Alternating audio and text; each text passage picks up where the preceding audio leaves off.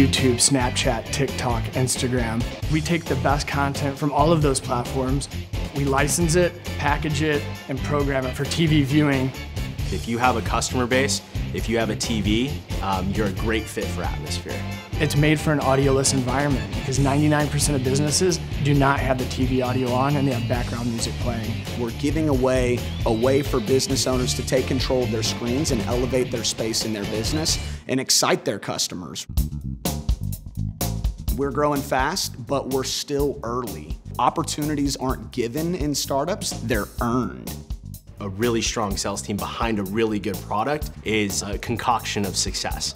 The people that we work with are absolutely amazing. The product that we're selling just makes sense.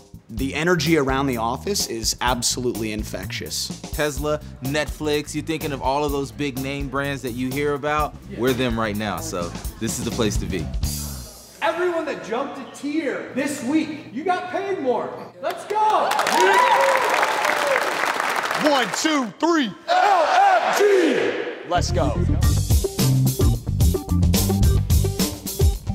It's energetic, it's exciting, and it's supportive and collaborative. Success begets success, or, or deals breeds deals. So having the high energy, people succeeding and being successful around you, uh, really drives that energy.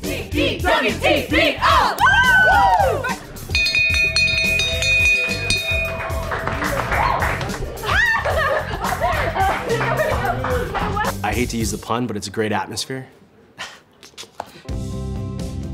Whenever people ask me what I do and I say I work at Atmosphere TV, I feel proud. We're spoiled here. There's all the snacks we want, Waterloo, there's a drink fridge, like kombucha on tap. Yeah, kombucha on tap. It's just like they genuinely really care about us here. We're part of a of fucking unicorn. Sorry, yeah. I can't. I don't know if I can cuss, but all right, then we're part of a fucking yeah. unicorn, man.